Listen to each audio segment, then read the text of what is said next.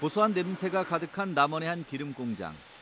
연 노란색을 띠는 생들기름은 상대적으로 낮은 온도에서 추출돼 자연 그대로의 맛과 향을 담고 있습니다. 제품 포장도 한 번씩 나눠 쓸 수 있는 스틱형으로 소포장돼 오래도록 신선하게 먹을 수 있습니다. 남원에서 생산되는 지역 농산물인 국산 참깨와 들깨가 가공품의 원료로 쓰이는데 여기에 톡톡 튀는 아이디어가 더해져 밀키트와 빵은 물론 화장품까지 생산되는 가공품만 20여 종에 연간 20억 원이 넘는 매출을 올리고 있습니다. 운영자인 장정은 씨는 10년 전 귀농한 청년 농부로 더 높은 목표를 바라보고 있습니다. 가장 한국적인 우리의 기름을 전 세계에 수출하는 것이 저희 야무진 꿈입니다.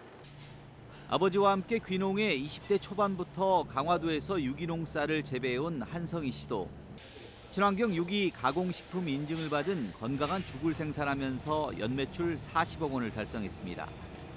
1인 가구와 노인 세대 증가에 맞춰 차별화된 틈새 시장을 개척한 결과인데 연간 500톤의 지역 쌀을 사용해 지역 경제에도 이바지하고 있습니다.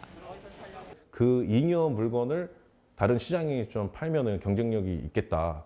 그리고 농가의 가격 수급 안정에도 도움이 되겠다고 생각해서 지난 2006년 0.78%에 불과했던 30대 이하 청년 농업인이 2020년에는 1.07%로 늘었습니다.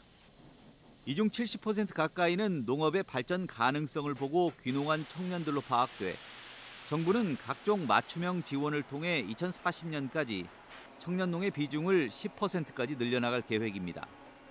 창의와 열정을 가진 청년들이 농촌으로 유입된다면 농촌과 청년들에게 활력을 불어넣을 수 있다고 생각합니다. 자신만의 아이디어와 특기로 무장한 청년 농업인들이 2, 3차 산업에 적극 도전하면서 농업 농촌에 새 바람을 일으키고 있습니다. MBC 뉴스 이창익입니다.